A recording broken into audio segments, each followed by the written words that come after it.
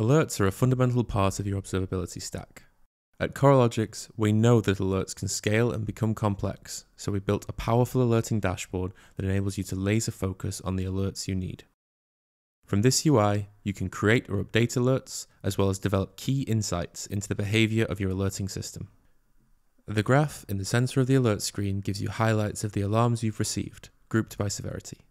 Alerts aren't just for outages, but also for notifications of key events within the normal running of your system. This graph allows you to understand how much of your alerting data is related to critical, warning, or info level alerts.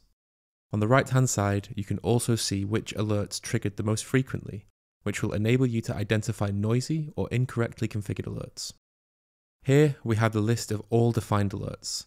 Key information about this alert is available in this table like severity and creation time, but we can also see when the alert was last updated and triggered. This provides a high level view of the status of that alert. Using the snooze button, an alert can also be muted for a predefined amount of time. You can also explore a given alert, updating and changing its fields as needed.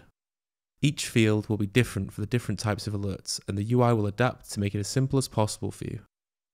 At the bottom, you can see an audit history of alerts, so if a previous silent alert has suddenly begun firing too regularly, you can see if this was triggered by a user change. This alerting dashboard is your central hub for managing your alerts, and Coralogix makes it simple for you to scale your alerting strategy to manage any operational challenge that you may face.